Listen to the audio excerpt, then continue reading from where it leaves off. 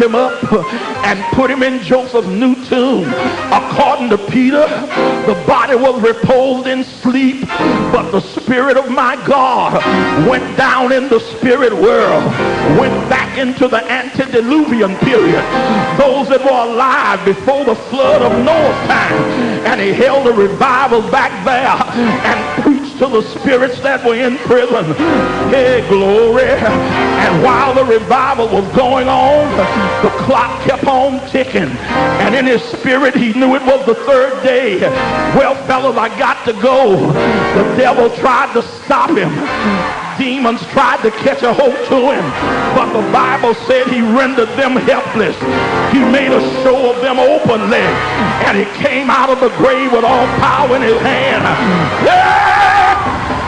And that body came out Easter morning in a glorified state.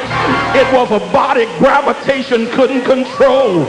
So while he was blessing his disciples out there at the city of Bethany, gravitation couldn't stop him. He caught the nearest cloud and started going up. And I see two angels, my God, standing by. And the disciples were looking up. And while they were looking up, the two angels touched them and said, hey, you men of Galilee, why do you stand here gazing up in the heaven?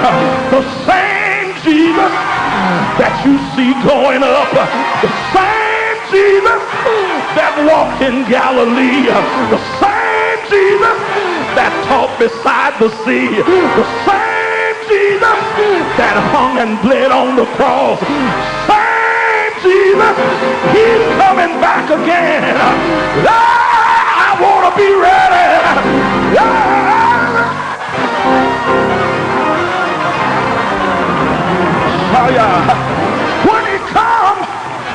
ah, when he comes, it's going to be like a thief and a robber by night.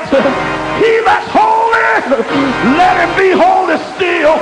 He that's righteous, let him be righteous still. He that's filthy, let him be filthy still. Ah, when he comes, when he comes,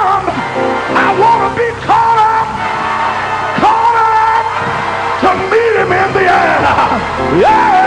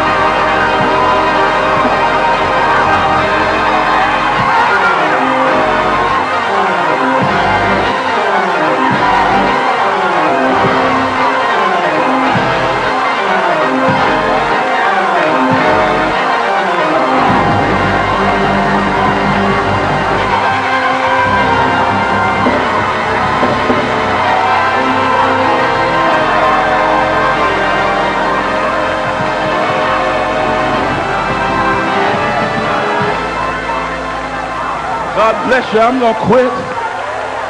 Yeah, Lord. Woo-hoo.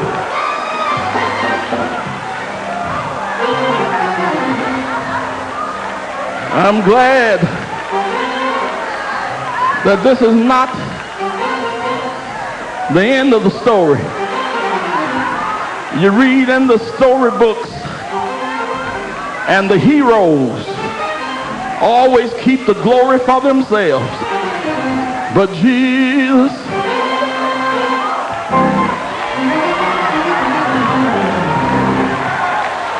if you let me paraphrase it, he'll tell you, I started out in heaven. I didn't have to go through all that. I didn't have to leave the hallelujahs of heaven. I didn't have to come down. And look at how low he came. He left heaven. Somebody said if he stopped at the sun, it would have been a brighter world. If he stopped at the moon, it would have been a saner world. If he had stopped at Jupiter, it would have been a mightier world. If he stopped at Mercury, it would have been a faster moving world. By Saturn and the other planets, he was not seen. And Mars had no men which he could redeem. But I'm glad that I can say, to take my feet out of the miry clay, he came all, he came all the way down down to poverty, down to being despised, down into the filth of this earth, down to mingle with filthy sinners, down to be talked about, scandalized and spat on, and he went down into the earth. And then when he got up out of the grave, he didn't do anything but go back to where he started. He didn't have to do that for himself, but he did it for you and me. He became sin that we could be righteous. He became poor that we could be rich. He died that we could live. You don't hear what I'm saying? And when it came up out of the grave, he had defeated our enemy. But I heard Paul say in 1 Corinthians 15 and 57, but thanks be unto God, which gives us the victory through our Lord Jesus Christ. He suffered it all for you. He suffered it all for me. Hey! He got up out of the grave to let us know that death is not the end of your life. The grave to let you know a cold, dirty grave will not be your eternal home. And I don't know about you, but when I think about it, I get excited. Something in me want to say hallelujah. Something in me want to say glory. My feet want to run when nobody's after me. Tears start flowing when I don't have nothing to cry about. Oh,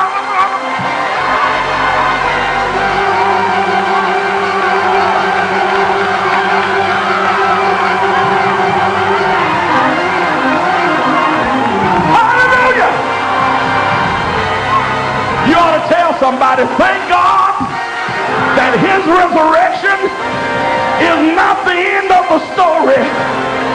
Woo!